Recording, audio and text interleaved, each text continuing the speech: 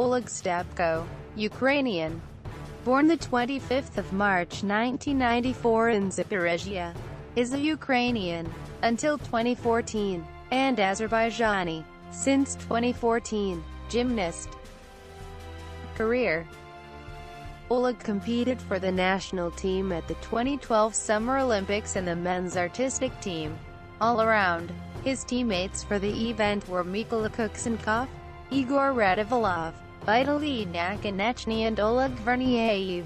Stepko also participated in floor exercises, horizontal bar, rings.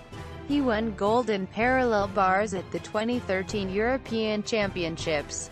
At the 2013 Summer Universiade in Kazan, Stepko along with the Ukrainian team, Oleg Verniaiev, Igor Radivilov, Petro Pakhnyuk and Maxim Semyankiv led to a second-place finish in the team final.